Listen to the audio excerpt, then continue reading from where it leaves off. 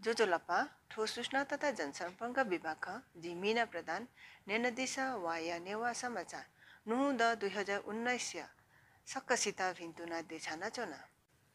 मुख्यमन्त्री भाजु पवन चामलिङ आइतबार ऐतिहासिक पाण्डमगढीय धार्मिक पर्यटन क्षेत्र या निशानी काली मूर्ति या दिलो या नदिला ठो मूर्ति पुवङ्क या त निगुद काए विश्व नेवा पुचा इन्डिया या च्याप्टर या नापाङ्गु दक्षिया मुजिया पच्चिस दिसम्बर दुई हजार अठार यानि दार्जिलिङ या तग्दा या जुल।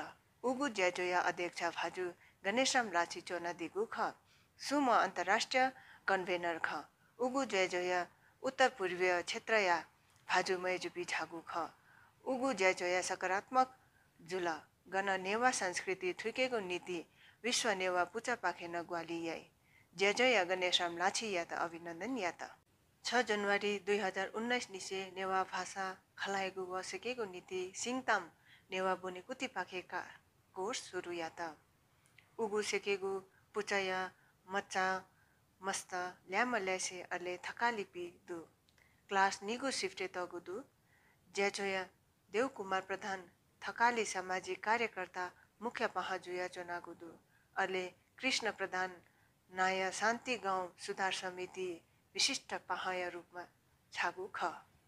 उगु ज्याजो सरस्वती वन्दना या एव ज्याजो सुरु या त सल्लाहकार भाजु एलेन प्रधान पाखे ठो ऐतिहासिक छन्या नीति लेता दिला।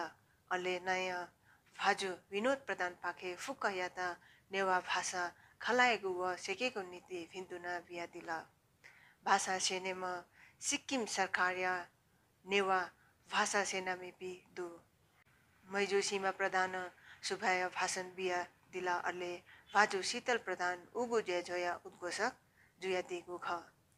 सात जनवरी दुई हजार उन्नाइस यानि तिमी नाम्फिङ जिपियु या थकाली दिवस थका। ज्याजो आयोजन याता थौ याता थुली मेगुवाले हाकन नाप्लाए छुहे ग्वाली वसुदा दुसा चिकपिन्त इनाप याना चुने। सुभाय।